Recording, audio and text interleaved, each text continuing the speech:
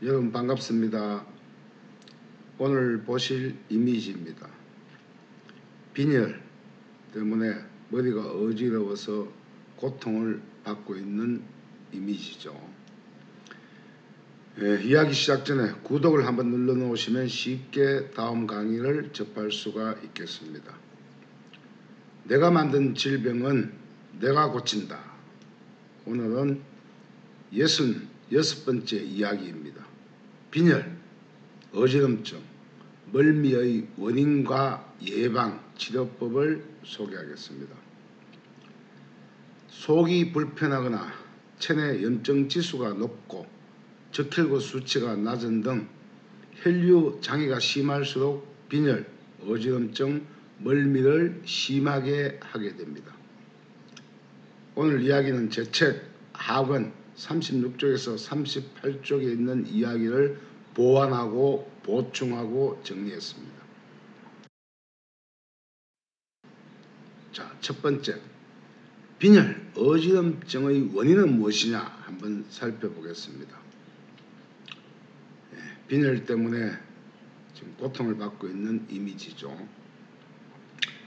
속이 음식을 잘못 섭취해서 속이 불편하거나 그 증세가 심하게 나타나는 것이 바로 빈혈, 어지럼증, 멀미까지 합니다. 첫 번째 원인. 흔히 빈혈은 철분이 부족해서 생기냐 해서 철분이니 영양제니 잡다한 약을 먹는데 아무 소용이 없죠. 철분이 부족한 것이 아닙니다. 내피 속에 염증이 많은 만큼 적혈구 수치가 부족해서 생기는 현상입니다. 두 번째는 대부분의 빈혈이나 어지럼증은 피가 머리로 솟구쳐서 생기는 정세로 피 속의 헤모글로빈 수치는 낮은 데 반하여 혈장이나 체, 염증, 활성산소, 체내 노폐물 수치가 높기 때문입니다. 세 번째는 혈중에 염증이 많기 때문에 몸의 여기저기 저체온 부위가 생깁니다. 그래서 막힌 만큼 심장의 피가 머리로 솟구쳐 내 압을 높이기 때문에 머리 주위에 다양한 질병이 만들어진 현상입니다. 네 번째, 뇌의 압력이 높기 때문에 심장의 피가 더 이상 머리로 공급할 수 없는 지경에 이르면 뇌 세포에는 저산소, 저영양분 상태가 지속되고 상대적으로 활성산소가 증가하면서 빈혈이나 어지럼 증세가 나타나는 것입니다. 다섯 번째, 따라서 철분제니 영양제니 먹어도 별 호흡이 없게 됩니다. 빈혈치는 체내 염증을 빼내면 자연스럽게 사라지는 것이 빈혈인데 후반기에 살펴보겠습니다. 두 번째, 어지럼증과 멀미의 또 하나의 원인은 뭐냐? 바로 청압이 높은 거죠. 고가 청압이 높아서 기가 얼마나 힘이 겨웠으면 자기 기를 자르겠습니다. 물론 자른 후에 나쁜 어혈, 나쁜 염증이 많이 빠져서 기는 편해졌을지 모르는데 상당히 위험한 일이죠. 자, 첫 번째 어지럼증의 또 하나의 원인은 기의 청압이 높아 평형 감각을 유지하는 이석, 평형 돌이 제2치를 이탈해서 몸 전체의 균형 감각을 잃어버리면서 어지럼증이 나타납니다. 하늘이 빙빙 돌죠. 네, 어지러워 지금 혼이 나고 있는 이미지입니다. 두 번째, 이 역시 심정의 피가 머리로 솟구친 사람으로 어릴 적 청강경기를 했다. 귀에 물이 들어갔다. 기병을 앓았다. 이런 사람은 기의 전정기관의 압력이 나이가 들수록 높아집니다. 세 번째, 내압이 높은 사람은 인체의 저체온 부위가 많아 혈류가 막힌 만큼 다른 조직의 부위의 압력을 높게 만들므로 사람마다 그 생겨나는 질병의 부위가 각기 다르게 나타납니다. 네 번째는 심장의 압력으로 내압이 높으면 머리에 높으면 지체장애나 간질 현상이 나타나고 귀에 높으면 청압, 이명, 이석증이 나타나고 눈의 안압이 높으면 시력이 나빠지거나 충혈이 생기고 내 코의 비강이 높 비강의 압력이 높으면 비염, 뭐 충농증이 생기고 입에 혈류가 문제가 생기면 구내염, 치아가 부실하고 목에 혈류가 내리면 갑상선 등 사람은 자신의 가장 취약한 혈액순환 장애 부위에 우선 질병이 나타나게 됩니다. 다섯 번째, 또 뇌압이 높아진 상태에서 갑자기 음식을 급히 먹거나 과식, 폭식을 하게 되면 위장이 움직이지 않게 되죠. 그럼 오장육부의 기혈이 막혀 구토를 하거나 멀미를 하거나 수족의 혈류가 느리고 속이 불편하여 빈혈 증세를 더 악화시키기도 합니다. 또 장시간 앉아 있다가 일어났을 때 순간적으로 다리로 가지 못한 속꽂힌 머리의 피가 다시 팔 다리로 내려오면서 일시적으로 어지러운 기립성 저혈압이 오기도 하는 것입니다. 세 번째, 신체와 얼굴에 나타나는 빈혈의 전조 정세를 한번 살펴보겠습니다. 첫째, 높은 뇌의 압력은 얼굴 안색이 좋지 않습니다. 빈혈이 있거나 어지럼증이 있으면 우선 얼굴이, 얼굴이 창백해지고 새하얗게 변하기도 하죠. 두 번째는 급체나 위경련일 때는 식은 땀이 줄줄 흐르고 얼굴색이 하얗고 심하면 푸르기까지 하죠. 그래서 얼굴 안색이 이렇게 안색이 이렇게 홍조를 띄어야 되죠. 청색빛이 나면 안 된다는 이야기입니다. 자, 세 번째, 간 기능이 이상이 있는 경우에는 오히려 얼굴색이 더 검붉거나 검게 변합니다. 네 번째, 그림과 같이 혀나 입술이 청색빛을 띠기도 하고 하는데 높은 혈관의 압력이 어디에 더 집중되느냐에 따라서 그 비정상적인 색조의 위치가 달라집니다. 혀에 올 수도 있고 이마에 올 수도 있고 얼굴에 올 수도 있다는 이야기입니다. 그래서 혀나 얼굴, 입술이 이렇게 청색을 띠면 내압이 아주 높은 것이죠. 다섯 번째, 빈혈이 심해지거나 뇌 압력이 더 높아지면 팔과 다리의 저체온 부위가 점점 더 심장 쪽으로 차가워지기도 합니다. 그 차가워진 부위가 무릎이나 허벅지, 팔꿈치보다 더 냉정 위치의 범위가 머리 쪽으로 올라가면 자칫 생명의 위협까지 가게 됩니다. 이때가 되면 대뇌가 제정신이 아니고 혼수 상태에 이를 수도 있습니다. 여섯 번째, 흔히 사람이 죽어갈 때는 손끝이나 발끝부터 점점 차가워져요. 염증이 차여서 점점점 산해져서 그 염증의 부위가 심장 쪽으로 확산되면서 팔뚝 위로, 허벅지 위로 차가워지면 목숨을 잃게 됩니다.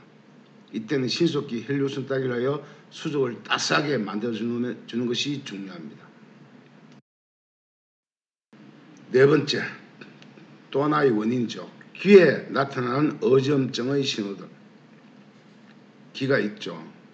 이 귀는 가장 우리 인체의 조직 중에 가장 움직임이 적은 부위예요. 요 안쪽에는 요 이석, 이석이 제 위치를 이탈하는 현상이에요. 첫째, 귀에 나타나는 이명에서 청각장애 등은 귀의 청각 안정이 높아서 혈류가 정체되어 생겨난 질병들입니다. 두 번째, 귀의 귀는 대체적으로 조직의 기관 중에서 가장 움직임이 적은 기관이어서 치료 기간 또한 긴 시간을 두고 치료해야 됩니다. 세 번째, 어지럼증이 오랫동안 지속되고 구토가 수반되는 이석증은 평형 능력에 관계 있는 귀 안쪽의 세번 세반고리관에 있는 이석이라는 돌이 제자리를 이탈하여 혹은 파손되어 평형 감각이 실종되어 생기는 증상으로 뚜렷한 병명 없이 어지럼증으로 매우 긴 시간 고생하는 경우가 많습니다. 네 번째, 이런 사람은 누워서 천정을 보면 한쪽 방향으로 빙빙빙빙 천장이 돌기도 하고 이런 경우는 고개를 상하 좌우에 흔듭니다. 흔들러 주기를 반복하다 보면 이 이석 돌이 제자리를 찾게 되면 어? 언제 그러냐 듯이 정세가 사라지는 것이 바로 이석정이에요. 다섯 번째, 지압으로 코피, 빈혈, 어지럼증, 멀미를 다스리는 방법을 살펴보겠습니다. 자, 여기가 바로 제2의 심장이라 하죠. 있는 부위가 바로 성산혈이에요. 코피혈이라고 제가 이야기했습니다. 이 코피를 흘리거나 심한 멀미를 할 경우에는 코피혈, 즉 성산 이 자리를 이 자리를 발바닥으로 세차게 3, 4차례 차주고 나면 차, 쳐주고 나면 코피가 먹고 멀미도 쉽게 가라앉습니다. 한번 시도해 보세요. 두 번째, 이 빈혈은 코피혈 자리를 자주 지압하도 좋으나 근원적인 치료를 위해서는 적혈구 수치를 높이고 면역 기능을 살려내는 혈류 손따기를 치, 따기로 치료하는 것이 가장 좋습니다. 뭐 수족냉증 3차 따기를 하거나 기본 손따기를 3에서 4차례 해주면 코피나 빈혈 증세도 서서히 사라집니다. 예, 장단지 치기가 힘이 들 경우에는 네, 손목과 발목의 거의 중간 지점을 쪼개서 엄지손가락을 통해서 이렇게 세게 눌러서 심장 쪽으로 지압해줘도 효험이 있습니다. 경문혈이라고 하죠. 이 자리가. 세 번째, 기에 청압이 높아 생기는 이석증으로 인한 어지럼증은 기본 혈류 손따기를 하고 코피혈 지압점을 자주 지압하면서 이명 어적혈 뺄점표를 참고하여 어적혈을 빼주면 이동된 이석이 서서히 제자리를 찾게 됩니다. 물론 좀 긴 시간 치료를 해야 되겠죠. 네 번째, 빈혈이나 어지럼증이 있는 사람은 특히 차가운 새벽녘에 밖에 나가면 절대 안 됩니다. 혹은 냉방이 잘 된 차가운 공간에 가면 빈혈이나 어지럼 증세가 심해지므로 삼가해야 됩니다. 흔히 우리가 여름철 날 아주 차가운 아이스크림을 먹으면 머리가 따개지고 찡한 것과 같은 이치이므로 갑작스런 차가운 온도 변화에 유의해야 됩니다. 다섯 번째, 빈혈, 어지럼증, 배멀리 혈류 손따기입니다. 자, 어지러워서 지금 보통 심하죠. 이게 딸점입니다. 자, 첫 번째, 양손 모두 따주기를 하세요. 먼저 기본 손따기를 먼저 합니다. 다사, 나사, 라사, 그리고 가와 마를 따줍니다. 자, 좀 기다렸다. 추가로. 손바닥 쪽에 라 12, 그 다음 B 플러스 10, 그 다음 머리 쪽으로 다를 한번 딱 주고 난 이후에 어? 회염했는지 딴 손의 반대편 발목을 한번 회전시켜보고 돌려보고 편한지 한번 해보세요. 발목이 되게 편할 거예요. 그리고 비역구배호 코로 숨을 드시고 후 길게 심호흡을 해보세요. 숨의 깊이가 이 밑까지 들어가는 느낌이 드는지 확인한 다음 이제 나머지 따지 않는 반대편 손을 따줍니다. 세 번째, 다 다스려 주신 후 머리가 좀 가벼운지 눈이 시원한지 내가 그동안 실종된 오감을 한번 살려보세요. 에, 이 따기를 일주일 간격, 일주일 지나고 또 한번 따주고 또 일주일 지나고 세 번 정도, 즉 3, 7일, 21일간 다스려 주시면 머리도 가볍고 밝아짐도 편하고 이때부터 이제 적혈구 수치가 높아지고 면역 기능이 점점 높아지고 폐활량도 확대 커지고 많아집니다. 자, 오늘 이야기는 여기까지입니다. 예, 추운 겨울 동상에 걸려서 발이 괴사되고 부푸도 올라 있죠. 자, 구독, 알림을 눌러 놓으시면 다음 강의를 쉽게 접할 수가 있겠습니다. 내가 만든 질병, 내가 고친다. 다음 68번째 이야기는 동상, 동상의 원인과 예방, 그리고 치료법까지 소개하겠습니다. 제가 어릴 적에 이 초등학교 5학년 때부터 거의 고등학교 거의 한 10년간 해마다 동상 걸려서 혼이 난 적이 있습니다. 동상의 원인은 혈액순환 장애가 있는 부위에 피가 얼어서 부피가 팽창하면서 모세혈관을 터뜨렸기 것입니다. 터지고 나면 체액과 혈장, 염증이 막 나와서 붓고 심하면 괴사까지 하죠. 자, 긴 이야기 경청해 주셔서 감사합니다. 늘 건강한 시간 되세요. 감사합니다.